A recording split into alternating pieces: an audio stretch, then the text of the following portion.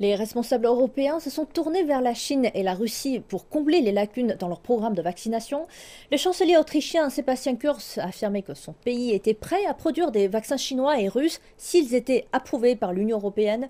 Le président français Emmanuel Macron et la chancelière allemande Angela Merkel se sont montrés tous les deux ouverts à l'utilisation des vaccins de Chine et de Russie.